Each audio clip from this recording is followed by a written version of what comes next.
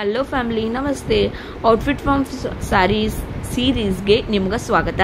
So ಇದೇನದಲ್ಲ ಇದು ಸಾಡಿ ಮೀಶೋದಿಂದ ತೊಗೊಂಡಿರೋದು ನನ್ನ client so ಇದನ್ನು ರೀಯೂಸ್ ಮಾಡಿ ಅವರಿಗೆ ಔಟ್ಫಿಟ್ ರೆಡಿ ಮಾಡೋದಿತ್ತು. ಈ ಸಾಡಿ ಟೋಟಲಿ ಆರು ಮೀಟರ್ ಇತ್ತು. ಇದಕ್ಕೆ ನಾನು ನಾಲ್ಕು ಮೀಟರ್ ಅಸ್ತರನ್ನು ತೊಗೊಂಡಿನಿ. ಸೊ ನಡೀರಿ ಸ್ಟಿಚ್ ಮಾಡೋನು. ಫೈನಲ್ ಲುಕ್ ಹೆಂಗೆ ಆಗ್ತದಂತ ನಿಮ್ಮ ಜೊತೆ ಶೇರ್ ಮಾಡ್ತೀನಿ. ನೋಡ್ರಿ ಫೈನಲ್ ಆಗಿ ಡ್ರೆಸ್ ರೆಡಿ ಆಯಿತು. ಇದು ಲಾಂಗ್ ಅಂಬ್ರೇಲಾ ಫ್ರಾಕ್ ಸ್ಟಿಚ್ ಮಾಡೀನಿ. ನೆಕ್ ಏನದೆಲ್ಲ ರೌಂಡ್ ಇಟ್ಟೀನಿ ಆಮೇಲೆ ಪಫ್ ಸ್ಲೀವ್ಸ್ ಹೇಳಿದ್ರು ಅವರು ಟ್ರಾನ್ಸ್ಪರೆಂಟ್ ಹೇಳಿದ್ರು. ಸೊ ಫ್ರಂಟ್ನಾಗ ಏನದಲ್ಲ, ಸ್ವಲ್ಪ ಲೇಸ್ ವರ್ಕ್ ಮಾಡಿದ್ದೆ. ಸಿಂಪಲ್ ಆಗಿ ಲೇಸ್ ಅಟ್ಯಾಚ್ ಮಾಡಿದ್ದೆ. ಆಮೇಲೆ ಫೈನಲ್ ಆಗಿ ಅಂಬ್ರೆಲಾದ ಘೇರ್ ನೋಡ್ಬೋದು ನೀವು, ಎಷ್ಟು ದೊಡ್ಡದಾಗಿ ತೊಗೊಂಡಿನಿ. ಫೈನಲ್ ಆಗಿ ಡ್ರೆಸ್ ಚಂದ ಡಿಟೇಲಿಂಗ್ದಾಗ ಸಾಡಿ ರೀಯೂಸ್ ಮಾಡಿ ಕ್ರಿಯೇಟ್ ಮಾಡ್ಬೋದು ಅಂತ ನಿಮ್ಮ ಜೊತೆ ಶೇರ್ ಮಾಡ್ಲಿಕ್ಕತ್ತೀನಿ ಡ್ರೆಸ್ ಹೆಂಗೆ ಅನಿಸ್ತು ಅಂತ ಹೇಳ್ರಿ. ಇಷ್ಟ ಆದರೆ ಲೈಕ್ ಮಾಡಿರಿ ಫಾಲೋ ಮಾಡಿರಿ. ಇದೇ ರೀತಿಯ ಔಟ್ಫಿಟ್ ಫ್ರಮ್ ಸಾರಿ ಸೀರೀಸ್ ತೊಗೊಂಬರ್ಲಿಕ್ಕತ್ತೀನಿ ಸೊ ಐ ಹೋಪ್ ನಿಮ್ಗೆ ಇಷ್ಟ ಆಗ್ತಾವ ಅಂತ ಹೇಳಿ ತಿಳ್ಕೊತೀನಿ.